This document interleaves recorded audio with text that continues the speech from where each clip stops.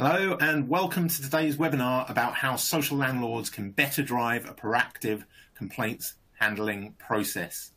Today's event, sponsored by Localz, is about probably the fundamental issue affecting landlord tenant relationships today.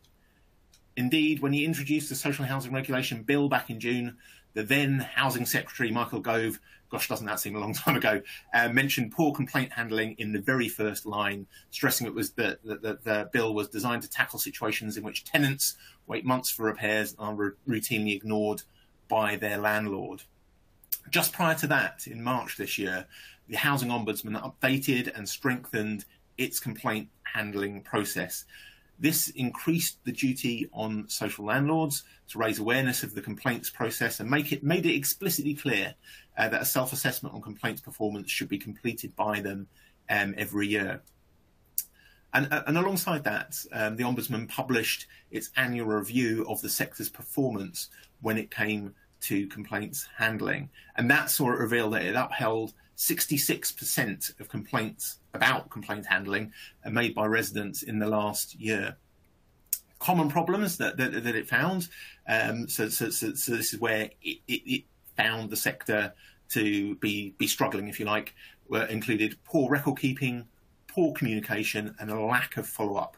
Um, the housing ombudsman uh, himself, Richard Blakeway, said at the time that its analysis strongly suggests both complaint handling and service delivery need to be improved across our membership.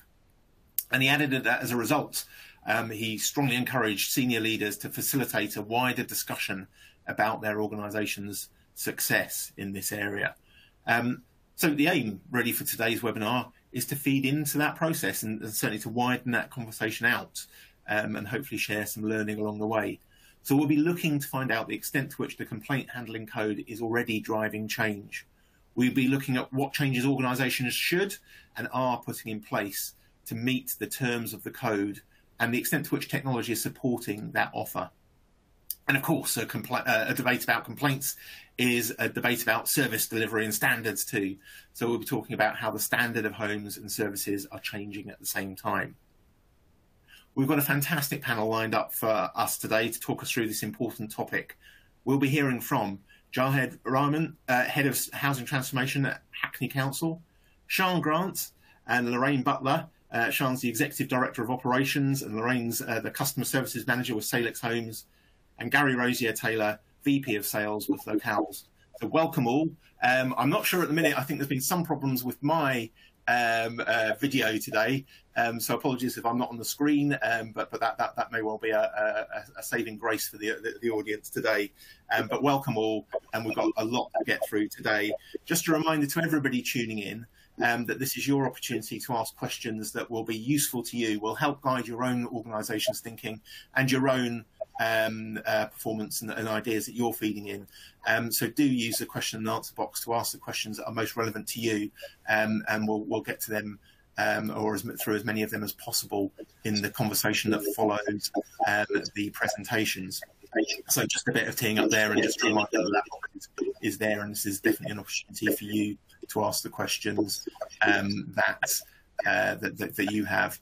Um, right, uh, before we get started, let's let's find out a little bit about the audience today as well, um, and we'll move to the slides. Um, so I think we've got a poll question uh, that that hopefully will be popping up on the screen um, uh, very shortly. So yeah, I'll move to the poll question now.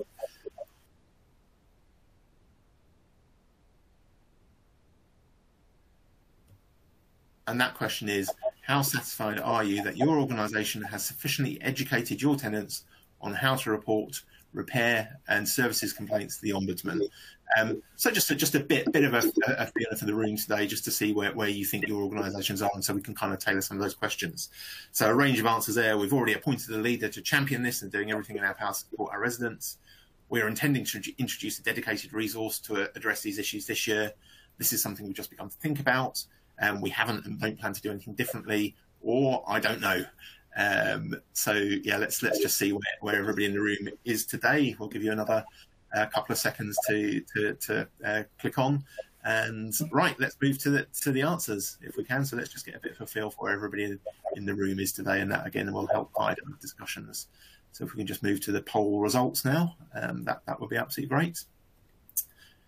Bit of a split, um, but but um, over 50% of you in the room today have already appointed the leader to champion this and doing everything in your power to support residents.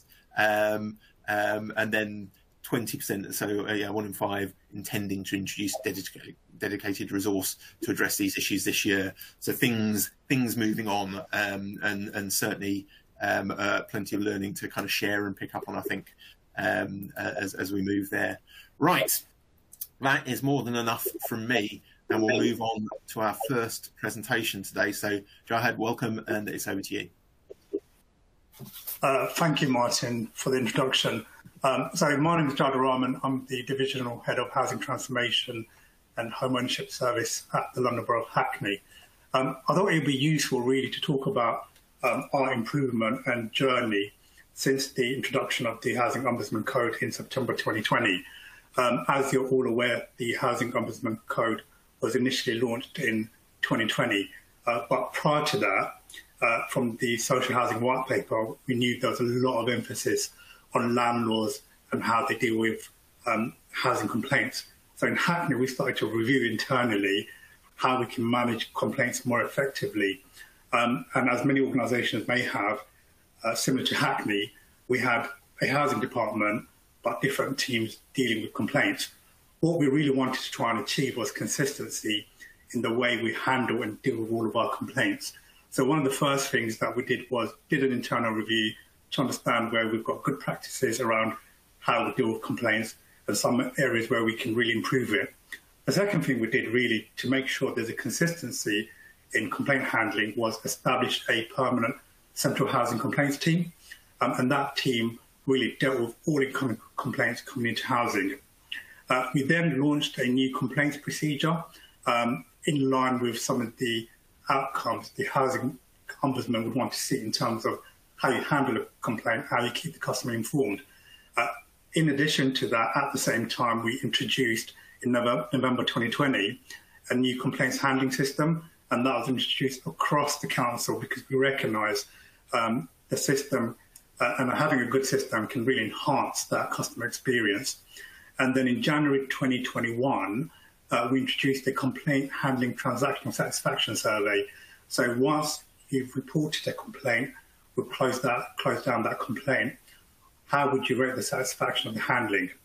And then one of the things that's really ongoing uh, and is consistent is making sure when we receive all of the complaints, we do a lessons learned, um, and that lessons learned is shared with the organisation and the senior management team.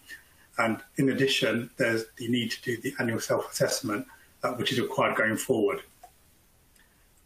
Um, I thought I'll talk a bit about our process, just so I can share with other organisations the process that we've adopted. So when a complaint first comes in to Hackney, one of the first things we try and do is we try and telephone the resident just to acknowledge the complaint, ask them is there anything more they would like to add to the complaint, and introduce you know our team so customers have a first point of contact. Often when you find complaints and they do come in, sometimes it doesn't necessarily need the organisation 10 working days to resolve. Um, so most organisations like Hackney may receive, receive complaints related to repairs. Um, and sometimes those are quick fixes. So one of the things that we've established within housing are complaint leads. So when a complaint comes in in relation to a repair, we would automatically pass that over to our repairs team, who's a lead. And often, if it's a plumber that needs to attend or a carpenter, would send the operative uh, and that would be prioritised. Um, and generally, in those types of scenarios, once the operatives attended, they've carried out the repair, the customer is quite happy with the outcome. So it doesn't need to necessarily go through our formal 10 days um, complaints procedure. If the customer is not happy with the outcome, we do a full investigation into the nature of the complaint, and then uh, we keep the customer informed and work with the various departments in housing to progress the complaint, investigate the issues, and try and give a resolution to our resident. If and after the first stage, um, the resident's still not happy with our first stage complaint process, they can then escalate that to our stage two process, and they've got 15 uh, working days to do that. Stage two in the council is re- reviewed by a different team, by the chief executive directorate, who's fairly independent, and they review the outcome of the stage one uh, complaint. If after stage two uh, the resident is still not satisfied, then we advise the resident to contact the housing ombudsman or a designated person. So that, in a nutshell, is the internal process that we follow when dealing with complaints coming into the business. I think this bit is really important. So one of the things that we introduce within our procedure is line management escalation when dealing with complaints. Often you'd find in large organisations, certainly more on the operational side, they're very busy dealing with the operational day-to-day business. So when a complaint does come in, in some cases, not always prioritised. One of the key um, uh, key focus for me and my team was to make sure when a complaint does come in, there's a corporate buy-in in how uh, these uh, complaints should be treated and how it should be prioritised. So one of the things that we've introduced within our complaints procedure is uh, when a complaint comes in, we'd allocate that complaint to the relevant department within one working day, and then that department then has really two working days to acknowledge the complaint. If they don't acknowledge that complaint, it then gets escalated to their manager. If their manager don't escalate or acknowledge uh, that complaint, it can then be escalated to their manager all the way up to the Director of Housing Service. And we felt this was really needed to establish a culture change around how complaints are prioritised uh, across the organisation. I think it's important to just quickly highlight some of the lessons that we've learned over the last 12 months. The majority of the new com complaints that we've received in housing relates to leaks, damps and mould. Um, so we've established a really proactive initiative by a building maintenance department and, and implemented an improvement action plan to reduce the number of these types of complaints coming into the business.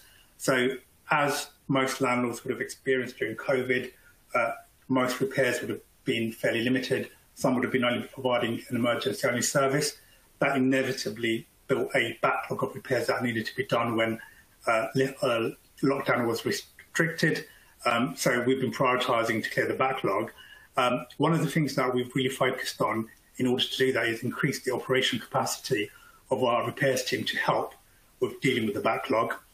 We're moving to a new way of working where we're reporting and treating all leaks as urgent for that to be responded within 24 hours. We're developing a damp mold strategy and establishing a property MOT program where we target problems um, in blocks where we're receiving a lot of complaints from. Um, I think whilst you can improve the handling, you can improve the internal culture, um, what I do really want to focus on is internally having robust performance monitoring on how complaints are dealt with. Um, and this is really important to understand as an organisation, how many complaints are you receiving, how many are you closing down, where you do have overdue cases that go beyond the housing ombudsman target of 10 days, um, how are they prioritised, how are you tracking those overdue cases, how is that being escalated? And I think it's important to analyse trends in complaints coming into, into the business by the financial year. So certainly some of our, our complaint volumes are a lot higher than what we had three years ago, and that's a trend across the sector. Um, really understanding when you do have complaints coming into the business, what are the key themes uh, residents are complaining about? What are the individual areas the complaints relate to? Sharing all of those with individual service areas and delivering local improvement action plan. More importantly, it's really understanding, you know, what can we as an organisation learn from the lessons um, and change in the way we do our business.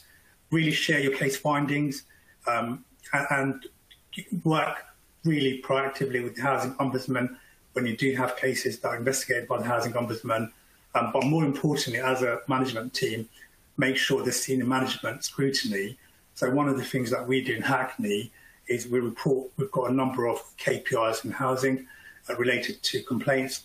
And as a management team, we look at how different departments are performing against those KPI.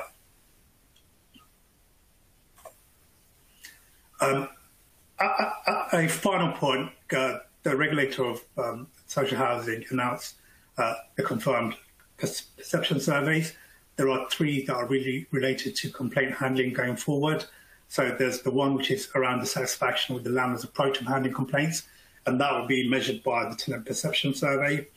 Um, the other one is around complaint relative to the size of the landlord.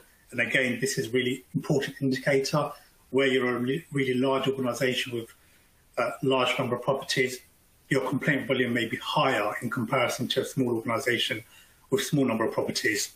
And then complaints responded to within the complaint handling timescale of 10 days.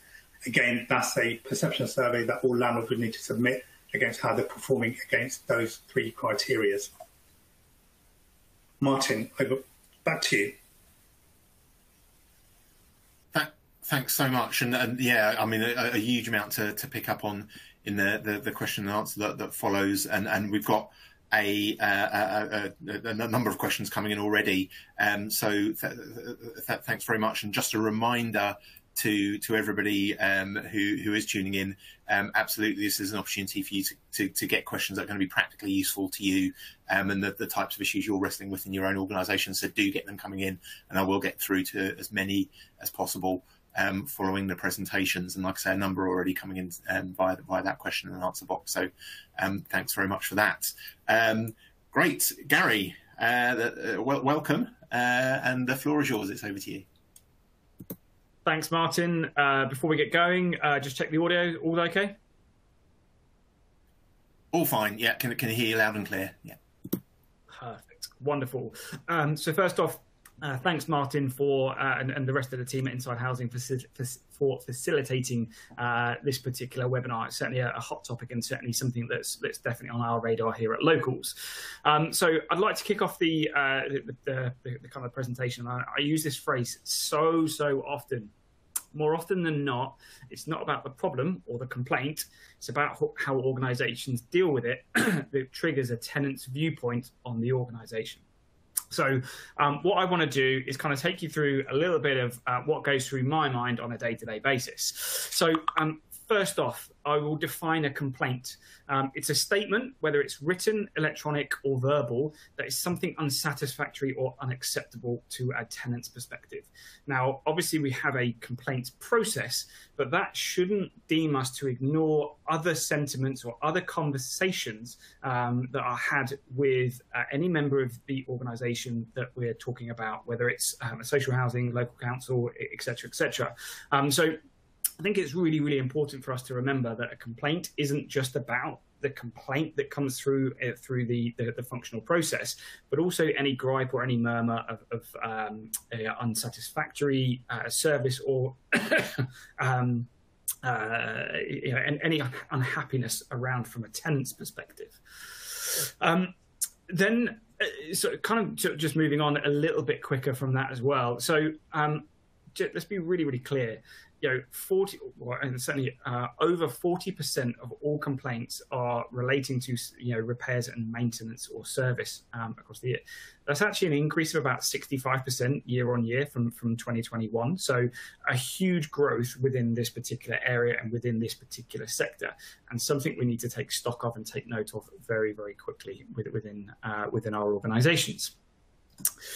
Um, when thinking about complaints or complaints processes, um, one thing I think is really, really um, important for every single person to, to take into consideration is uh, contextual information is critical for any trigger or any uh, conversation with a tenant. So um, it's all well and good, you know, doing surveys, and, and don't get me wrong, we are we, we, we, we functionally support, um, you know, uh, one star, five star reviews, CSAT, etc., etc. But a lot of the time, the contextual information gets skipped off the back of this. Um, somebody could be unhappy with the work that was done, but pleased it has been actually done. You know, they might be unhappy with the, the, the quality of the plastering or the color of the paint, but actually that doesn't mean they're dissatisfied with the service, um, you know, and, and, that the actual repair has been achieved. Um, sometimes it's about setting expectations at the start of it as opposed to waiting down, you know, further down the line. So I think it's really, really important and really valuable that we all take a, a, a, bit of a step back at times and look at contextual information that is absolutely critical to a complaint. Now, I'm going to shift a little bit further back now and relate to something I said a little bit earlier, um, which is, uh, you know, um, basically um, looking at the problem, it's not it's about how you deal with it that's more valuable to um, us as a tenant or a, a, as a customer. Um, so my biggest advice for any organization out there is get yourself ahead of the game. Now, if we think about the 40% of um, complaints that are relating to service and repairs, which is a growth of 65%, 90% of those um, uh, complaints occur after a tenant has had an interaction that they've already told us that they're unhappy. And what we do is we don't we don't resolve the problem there and then, um, or we don't acknowledge the problem. Um, so I'm really going to sort of touch on some things that we can do to get ahead of the game as opposed to uh, being behind the game line. Okay, so I think you know most importantly, acknowledgement is 50% of the battle. Um, apologies for my very cheesy slide of Tiger Woods, but I'm a massive golf fan, so he had to crop up somewhere in this particular presentation. So there he is, um, acknowledging um, a, a, an issue or a complaint. Sometimes takes a tenant back and goes, "Okay, they understand my challenge." Um, what we also need to do is understand the impact of those challenges. Um, you know, being very, very open and honest. Um, you know, uh, whether it's damp or mold in a in a property, um, it's going to have two different impacts on two different people. Whether somebody um, you know has uh, is asthmatic versus somebody who's not asthmatic, the impact of that challenge uh, or that uh, that issue is fundamentally different. It's the same problem, but it's different in terms of the impact that it has on somebody's day to day life or, or, or, where they're living. So um, just acknowledging that is sometimes you know 50% of the battle. In fact, a lot of the time it's 50% of that, 50% of the battle. And then we talk about it. So um, we've got ahead of the game. We've acknowledged our, the, the, the challenge and the problem. Communicate um, and again, um, Jahed uh, obviously explains you know, some of the processes that London Borough of Hackney go through. Um, what we're seeing within um, certainly our customer base and, and how they're communicating uh, with, with customers, it, you've really never heard anybody complain about being communicated to after an issue they've, they've raised. If anything, they complain more because they haven't heard anything about it. Um, now, I know that's easier said than done, but it's having a regimented structure within your process before you have a complaint um, or an official complaint through the official complaints process. That is how you get ahead of the game and reduce that that time and that ethos behind it. So, um, just really want to sort of portray that is you really never ha- you know have uh, anybody complaining about um, you know being over communicated to and that leads me on to something else. And um, this is something I, you know I've certainly seen a lot of organisations moving towards very very quickly. Um, Jahed, I think you had uh, something around 15 days uh, within there to, to get a tenant to uh, come back to you or, or at least um, you know respond to. Give yourselves an SLA. How do you stack up to your SLA? And make sure that the SLA that you're setting yourself exceeds or beats what you're given by uh, the housing ombudsman. Okay, um, you know, fundamentally, the further ahead you can be, you can raise issues, raise you know, um, you know, raise awareness, pick up something that may may not have been dealt with in time before it reaches escalation process. Um, I know that sounds relatively logical. I know that sounds really simple, uh, but again, a lot of organisations that I've seen, and, and, certainly I've worked with in the last um, uh, kind of seven or eight years, certainly haven't set themselves um, SLAs around dealing with complaints. Um, so that's just something I, I think all organisations should have. And then, last of all, um, and, and again, um, you know, most important and most and most critical thing is involving a tenant in how you've handled or the issue or the complaint. Um, are understanding if they you've dealt with it satisfactorily, um, you know, or, or, to meet their expectations. Because if it's still not met their expectations, the only thing that's going to happen is that's going to extrapolate into a, a, larger or a bigger challenge or problem for your business.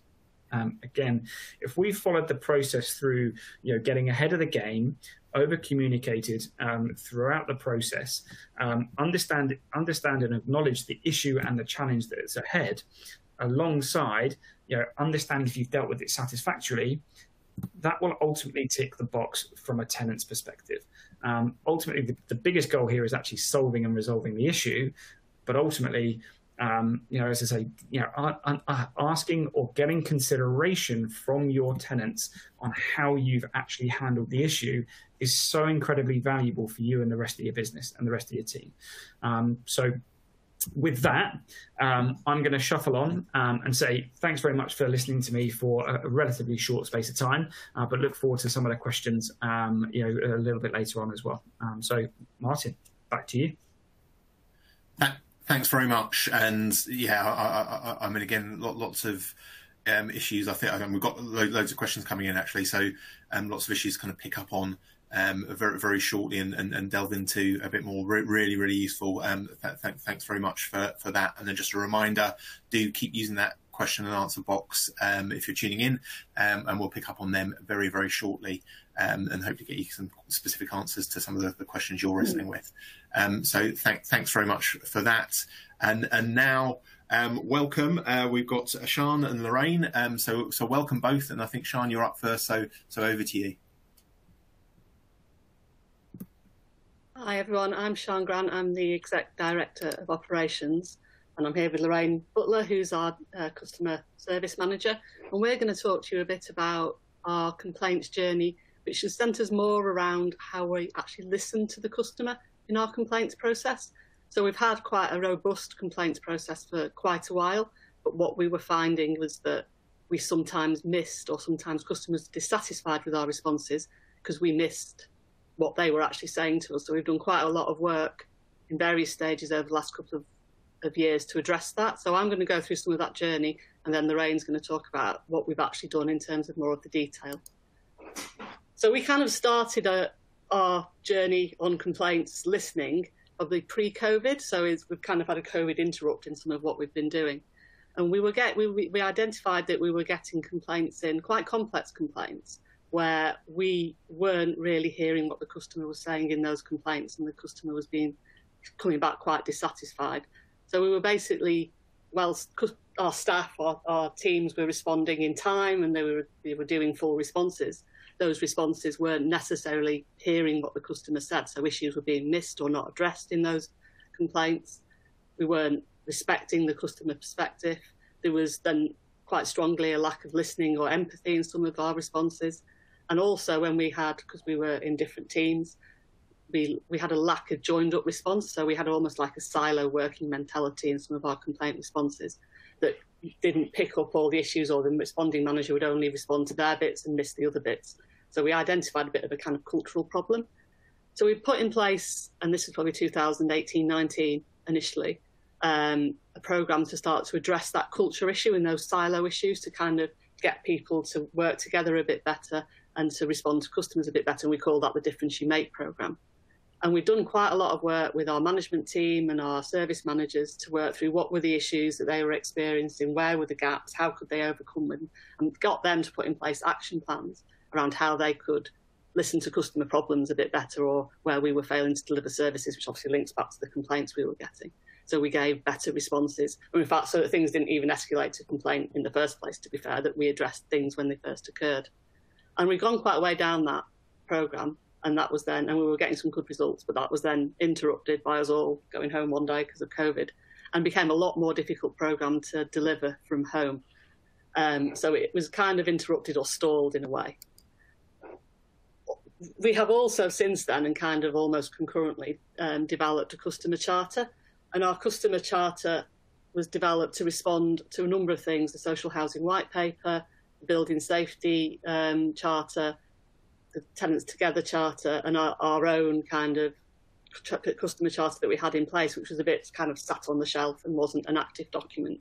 And we worked with customers, our customer committee, to develop a customer charter that was very, very much around how we respond to customers and how we respect customers and had the seven main principles, one of which in there is resolution and is very much around the customer voice and complaints.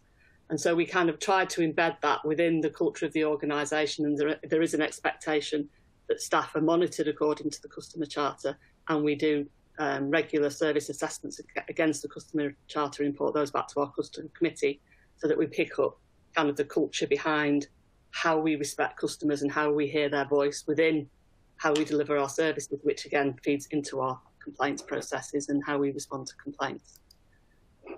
We also carried out post-COVID a restructure, um, and whilst we had a complaints team or a complaints person prior to COVID, we've, we strengthened that team within the new structure. So we had a more people or a couple of people making up that complaints team, and they had a greater focus both on ensuring that complaints responses were handled within time and according to the right processes, but also picking up what we were learning from complaints. And Lorraine's going to go into a bit more detail around that in her bit of the presentation. We've also, as others have mentioned, carried out an assessment against the complaints handling code to make sure we're meeting all parts of that. And we've only got one part where we're partially um, not compliant against one of the mandatory elements, which is around telling people about the ombudsman themselves um, but that's we don't tell everybody in all letters. We only tell them in complaints letters. So it's a, a partial non-compliance. And also, as part of Build Back Better and as part of our overall governance structure, we've set up a complaints oversight group of customers who also feed into our complaints learning and what we're what we how we're responding. They look at sample letters. And again, Lorraine's going to go into that in a little bit more detail. So we'll hand over to Lorraine and she'll give you a bit of the detail of what we've done. Yes, thank you, Sian. Um, as Sian mentioned, although we'd already made some quite a few inroads in improving our complaint handling process, um, operationally we wanted to tighten things further. Um, so we devised um, a very specific complaints training program for responding managers, um, both responders at stage one um, and stage two. And whilst they'd received complaints training prior to this, the emphasis was far more on the customer voice um, rather than the process and the policy because they were quite familiar with that already and we already had it um, fully, the process was fully incorporated into our Dynamics 365 system. So we were very much looking at trying to change people's perspective and have those light bulb moments about what it feels like from a customer perspective when they're dissatisfied with something we have or haven't done. Um, and actually looking at the voice and incorporating kind of the attitude, if you like, um, both within and outside of social housing around um, social housing stigma um, and unconscious bias. And we used the um, snippets from the Grenfell documentary to really bring home how that feels from a customer when they don't feel listened to. Um, so that was some really interesting debate that we had with our managers um, and really sort of helped them to understand or see complaints differently. Um, within that training, we also um, involved session on lessons learned, and we'd already started sort of identifying lessons learned and capturing them. Um, but we also found there were quite a few bits being missed, and it was largely where managers sort of expected it to be a, a significant policy change or something much bigger that needed to be, you know, count as a lesson learned, rather than some of the more nuanced, smaller things like improving communication or including a, a, small step in a process to update the customer. And all of those things made such a difference in terms of how that customer um, felt about the process and how that complaint and their dissatisfaction was being handled. Um, we also incorporated the lesson learned element of the process within our CRM system as well, so that managers were able to um, be guided through that process and to actually think about where there was any partial or fully upheld element within a complaint response that they really thought about where they could um, improve things for the future to prevent that from happening again. And our complaint support team have, have now started a piece of work where they're looking back at previous six month lessons learned to see where um, whether that has been effective, whether the um, complaints since then have um, either repeated or reduced as a result of the um, actions that have been put in place.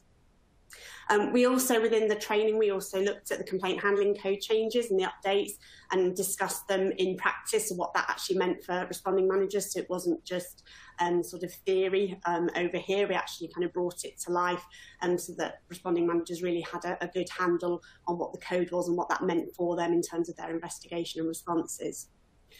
Um, in training, we also went through with the Customer Service Centre and, and, delivered a bespoke training course, for them. Um, and that was very much about that initial resolution and really listening to the customer, properly identifying what the issues were. As Sian said, sometimes we felt that they were getting lost. So we'd gone down one track when actually what the customer was saying was something different. And so we really kind of took time with the customer service officers to help them understand and listen to what the customer is actually saying and where possible use our um, second tier within the customer service centre to try and resolve um, those issues um, at first point of contact. And we also used our complaint oversight group, and it's a fairly new group, um, but already they've um, had two meetings where they've looked through sample complaints and done more of a deep dive um, response analysis. So, really looking into the bones of the responses to get a feel for whether there's consistency across the tone, whether there's any defensiveness in that. Um, and that's been really, really useful. And we've already incorporated some of the feedback from that group and from those customers into our um, processes. Um, in addition, we had some complaints club sessions. We had everybody fighting over um, being part of the complaints club, but that was really about getting small groups of people together to look at the case review more objectively and see where the learning can be incorporated, and then more in-depth um, reviews by service area um, where there are particular issues, particularly around the repairs team, for example. Um, the team also gives one-on-one, very individual support to managers who've got particularly complex complaints, and that really helps them to understand what the issues are and how to best approach that investigation. But also, we've looked at multi-team manager meetings where there are um, complaints or dissatisfaction across departments that touch the number of areas so that we're not all sort of individually going off on our own silo and actually we're having a coordinated response and everybody's clear on what the a what the issues are and where that touches their area and how best to approach that so the customer gets a, a full and complete and coherent response so these are just some of the things that we've done really to tighten that that process further. So it'll be interesting to see if we um, see that reflected in our um, complaints handling satisfaction from our customers. Thank you.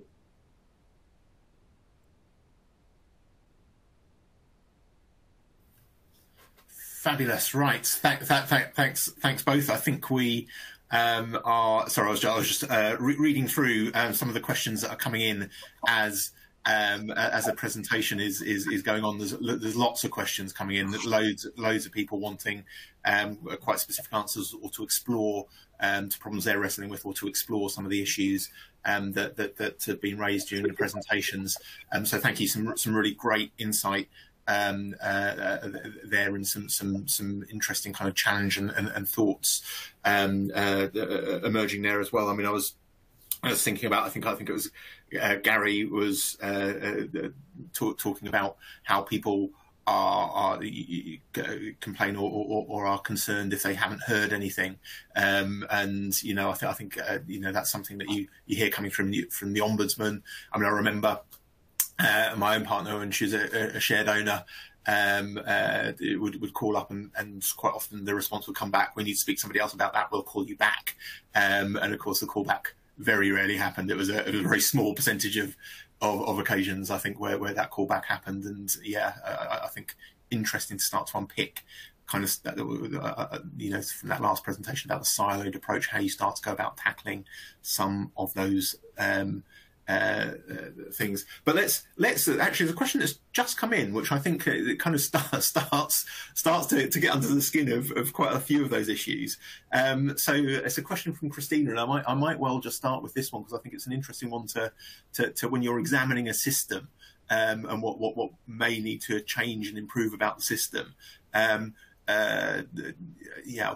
So Christina's question is: When is the right time to ask a complaint uh, complainant, sorry, about how their complaint was handled? So where in the process are, are you, you doing that, and, and and also where in the process is is is is it important to be asking those questions, to be understanding, and perhaps reporting uh, reporting back? Uh, Jahed, it's been, it's been a while since we, we heard from you, so I'll hand over to you first on that. Thanks, Martin. I, I think for Hackney, the, the, the right moment is once we've closed down the complaint, irrespective if the resident then wanted to escalate it to stage two. Um, I know some organisation where um, the complaint has been closed down um, and there's no need to escalate, they'll ask that question and some question, regardless if the complainant is escalating or not, they're asking that question. So for us, it was asking that question regardless um, if it's been escalated or not, because the issue isn't about the outcome of the complaint. The issue is about the handling. So when you reported your complaint to Hackney, did someone call you? Did someone introduce you? If we're likely to go beyond the 10 working days, did one of our officers contact you to let you know, keep you updated? So, so really, the, the right time is once you've closed down the complaint.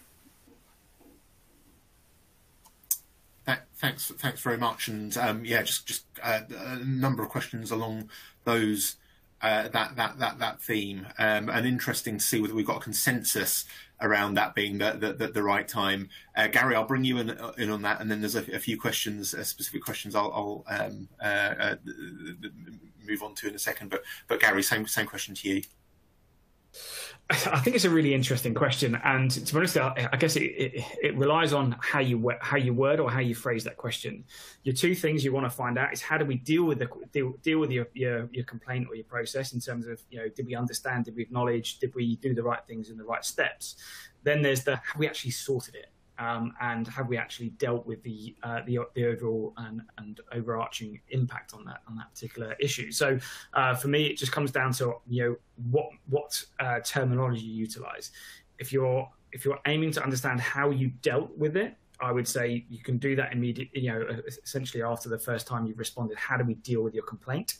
Um, if you want wanting to look at how do we deal with it as an overarching thing of, you know, is the problem fixed and, um, you know, how do we actually hand, handle it um, as, as, a, as a team and as a business? Um, that would be after it's been closed down um, and not escalated, in my view. Um, but, that, but, that's a, a, personal perspective.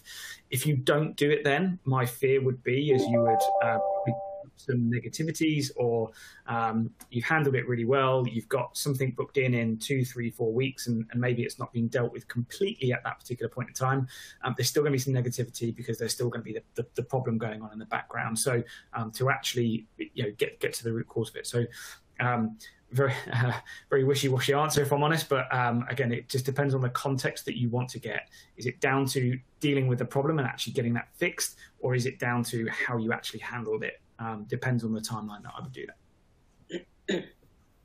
Thanks very much, Gary. And we, have got some questions coming in about how tenants are involved in that process of decision making as well, which we'll come to in a, in a, in a second.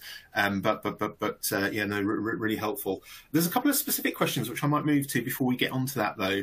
Um, uh, and uh, uh Sian and Lorraine, I'll, I'll, I'll, bring you back in um, because there's a, a, few specific questions about the complaint oversight group um, which um, uh, various people seem to be in, interested in exploring um, uh, the, the, for, for, for, obvious reasons. Um, so uh, I'll, I'll, throw them both at you actually, and, and we can answer them in order.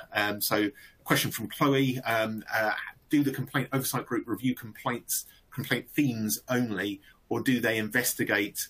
and provide responses to formal complaints. Um, so yeah, quite quite how they come in, and then uh, uh, along similar lines from Joe, um, would Lorraine be able to share the terms of reference for the customer complaint oversight group? Uh, we are implementing a similar group, and it would be helpful to see roles and responsibilities for customers participating. Um, so, uh, as that one was aimed at you, Lorraine, I'll bring you in first, and uh, and then and then Sian. Yeah, that's absolutely fine.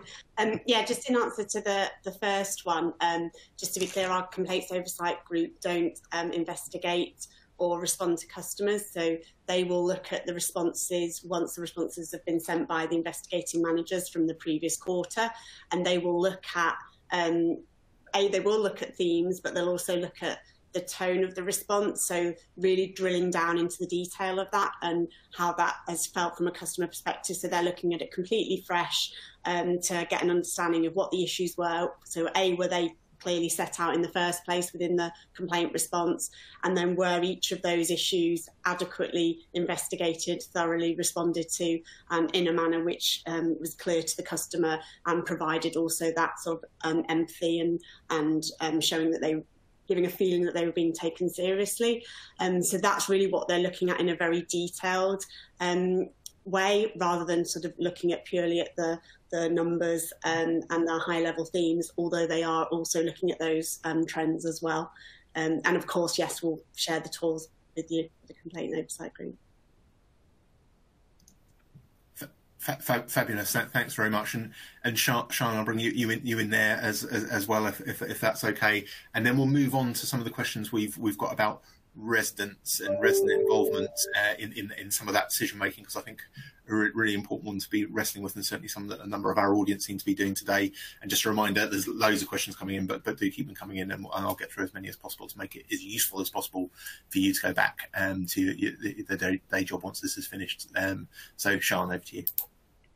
I've got probably got nothing much further to add to what Lorraine said on the complaints oversight group. I think she explained it fairly well. Um, so yeah, sorry, Martin, there's probably not much, much more to say. no, no, absolutely fine. In which case, I will come back uh, on on the, um, the, the, the, the lessons uh, uh, and the work with residents. Um, so. Um, uh, I, I, mean, I guess actually probably a question to to, to, to everybody. This was specifically uh, addressed to Jahed earlier, but I'll, I'll uh, Sian, I'll bring you in first, and I'll move to Jahed. Um, so, first one is do you share lessons learned with residents? So um, the, there's a lot of learning we've been talking about today, a lot of developing services. What is being shared with residents, and what what, what chance are they getting to kind of input into to some of that decision making? So Sian first, and then I'll, I'll move to Jahed. So we'd, we'd be sharing our lessons learned, kind of like an overview on our website, so that we can almost. Uh, you said we did. So every so often, like quarterly, we look at what we've learned and share that information as a more summarised version. Um, we also share it um, to our customer uh, committee, which is part of our governance structure, just sits under the board. They're, they are responsible in their terms of reference for complaints monitoring. So we do a, a quarterly report to, to that group and a big section of that report is on lessons learned, what lessons came up in the quarter, what we've done about them, and what the actions are going forward. So almost they then track how we're applying those lessons throughout, you know, coming back in six months, have you done anything? Has anything improved? So it's almost like a dynamic process. So we share at one level with the wider customer body, and then in it with you know within the kind of the customer engagement structure, so that people are able to influence what we're learning and almost the actions we're taking. If that makes sense very, much. And, and Jahed, I'll, I'll, bring you in now. Um, kind of that same same question. So, do you share lessons learned with residents? But but also, I just want to push at that in, in terms of the agency they've got in, in kind of setting um, the, the, the, what, what, gets re, uh, re, reported, or indeed the, the, kind of systems that are in place in the first place. So, what, what agency um, do, do, do, would residents have within your system um, for, for influencing? Um, I guess the questions that you're asking. Sure. Uh, so, so one of the things that we do within the annual report, we, we talk about how we're dealing with complaints. And just last month, we agreed with our resident group to share the internal report that we produce for management for that to go to the resident group. One of the conversations we started to have was understanding the logistics and practicalities of setting up a resident appeals panel. So after stage two, um, because, because the designated person uh, is, is, due to be removed in October, um, where residents can actually ask a complaints panel made up of residents and staff to review the outcome of a stage two before it goes to the housing ombudsman. So we're currently looking at the viability of setting up that type of panel where residents can review how the stage one and stage two have been handled and dealt with and potentially could overturn that decision or, or find in favour of the council. So um, I, think part of the challenge is um, finding a group of residents that could be committed to reviewing the, the stage two complaints um, and understanding um, how the terms of reference could work.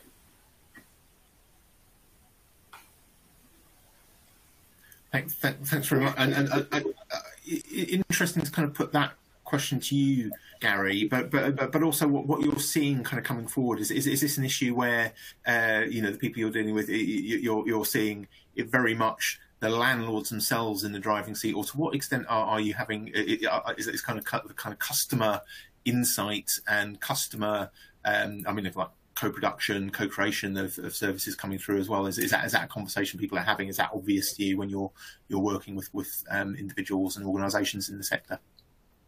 Yeah, great. Yeah, great, great question, and good, good uh, kind of, sort of top up to it as well.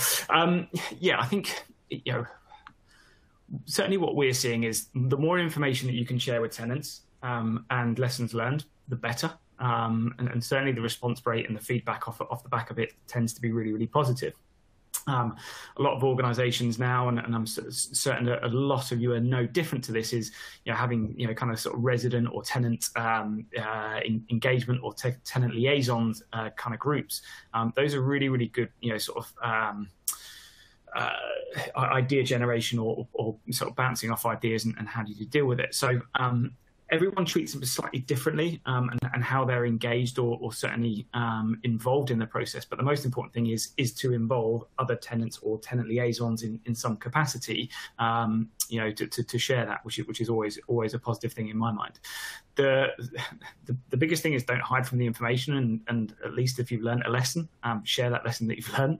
Um, I think again, when we go to over communicating, sometimes that's such a positive thing that you can be doing to say, look, here's an issue we found it you know it's coming across really regularly. Um, you know we, we, wanted to share that with you. If you've got the same challenge get in touch and we'll see if we can help you out and sort you out. So um, as i say from, from my perspective i would always share a lesson learned um, in, in every way, shape, or form. I would communicate that in so many different ways as, as, as much as possible um, through multiple channels because all of your tenants are going to receive information in a different different different way. Um, some of them won't always be online, uh, won't always be on your website looking at what's you know what's happened or what, what's what's what's been involved. So um, you know sh- sharing as, as much information as you possibly can is, is you know can never be a negative thing, especially when it comes to what have we learned as an organisation.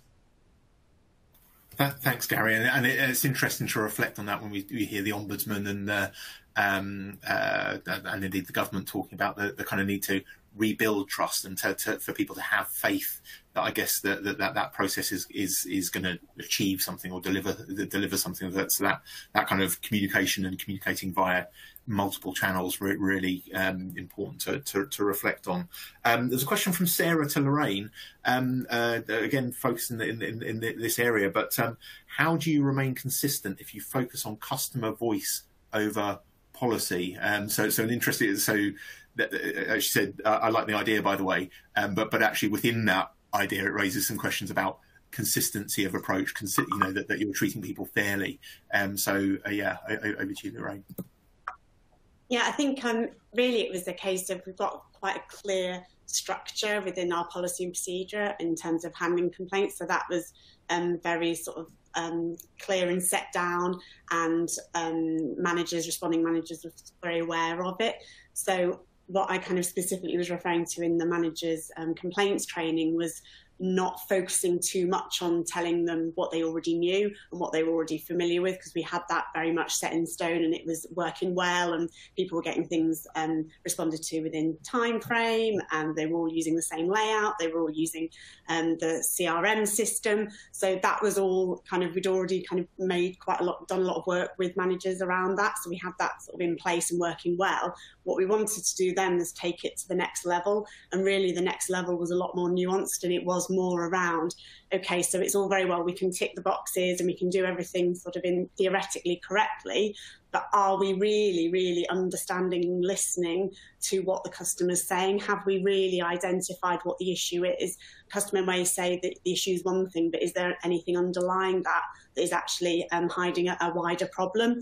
Um, and do we know, do we need to speak to the customer before we even start investigating to make sure that we've fully, fully understood what the issues are. Um, and during a lot of those conversations that we've we've started to do, either the, the manager or in the complaint support team, is to really get a, a true handle on the um, issues that have been identified in the first instance.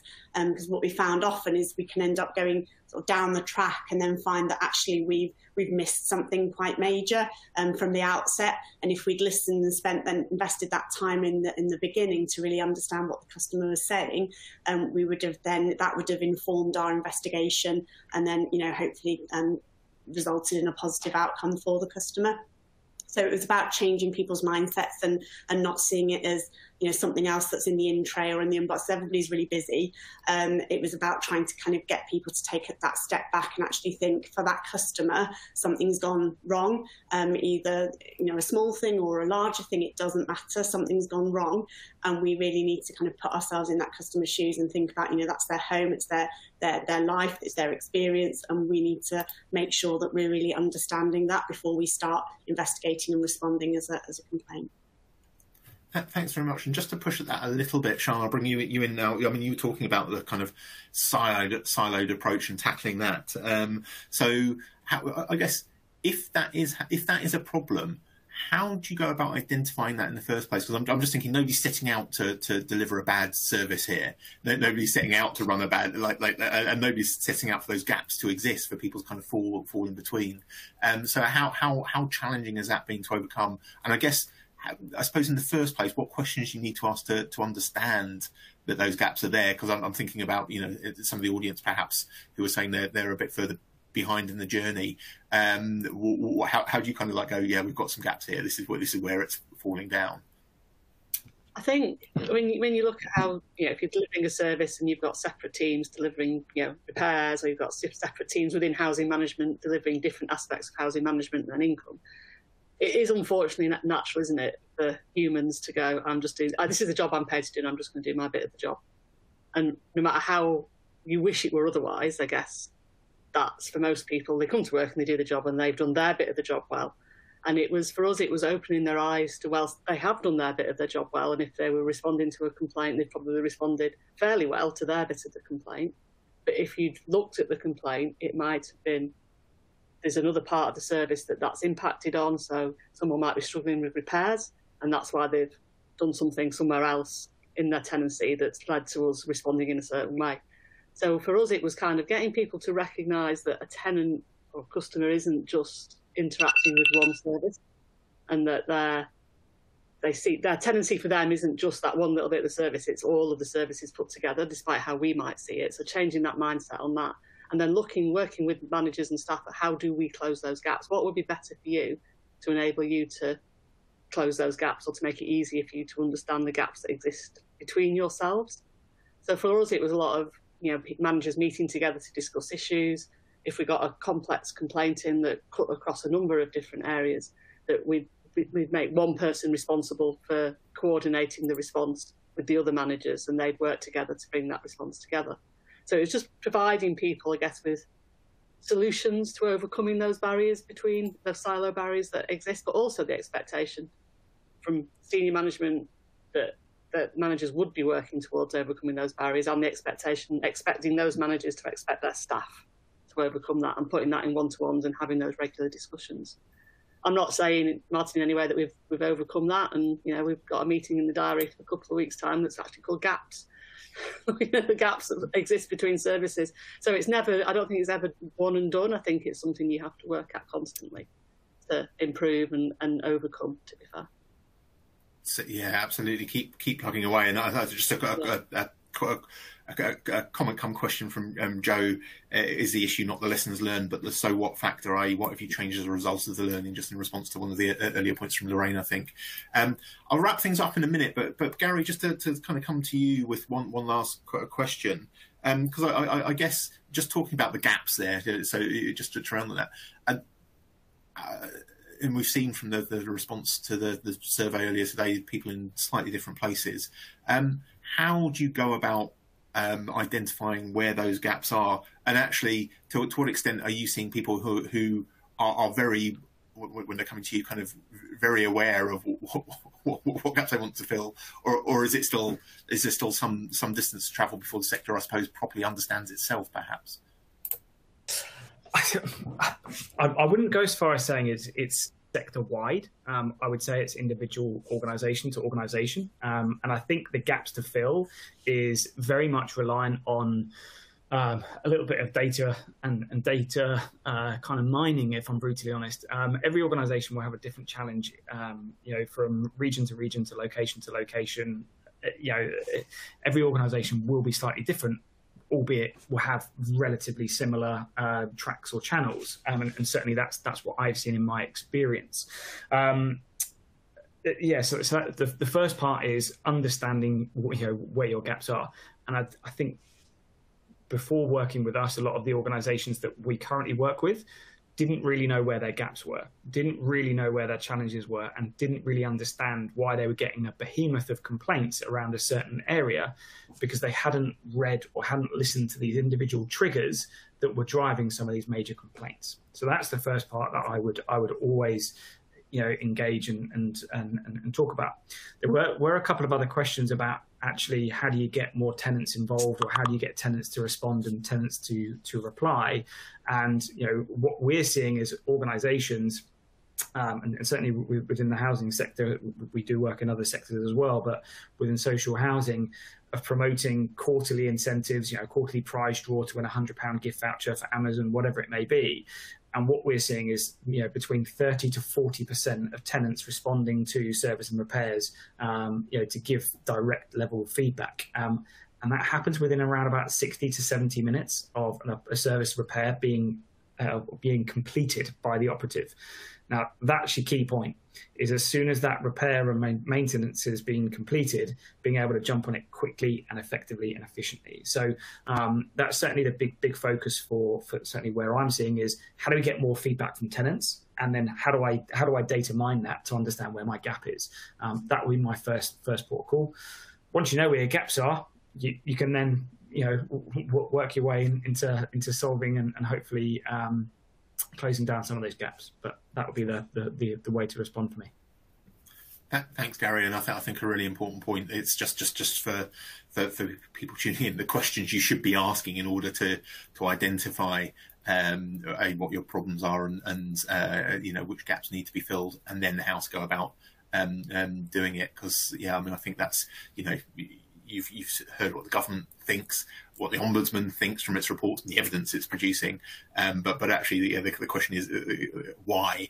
Um, and I think um, we've we've um, uh, gone some way to, towards answering that and the next steps um, through through the, the presentations and the, the, responses today. We've had a huge number of questions come in. I've got through as many as, as possible, and hopefully that's covered uh, certainly the themes of the, question, the questions that were coming in. And so, thank you all very much for for tuning in.